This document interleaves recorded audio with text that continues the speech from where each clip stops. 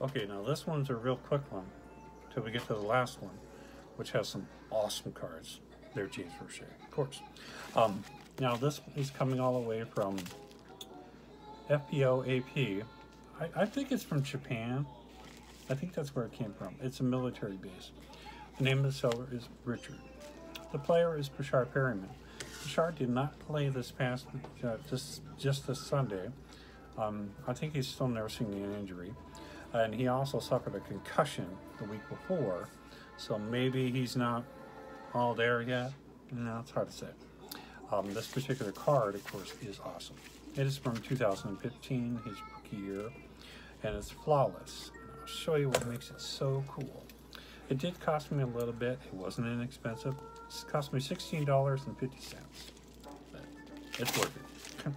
Because I only have one other player from the from this particular style, and that's um, Aaron Murray.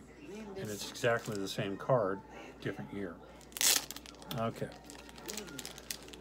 This is a 2015 Panini Flawless Diamond Encased Rookie card. That's, folks, right down there at the bottom is an actual diamond inside of the card. This is uh, number 13 of 20. And like I said, I only have two of these where they both have diamonds literally inside of the card. So, you know, they say diamonds are a girl's best friend. Oh. so, yeah, Neil, yeah, very awesome.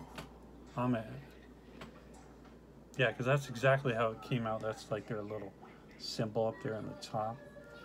You know, very cool. This is the only one-off. Every uh, uh, everybody else is James Verche, of course.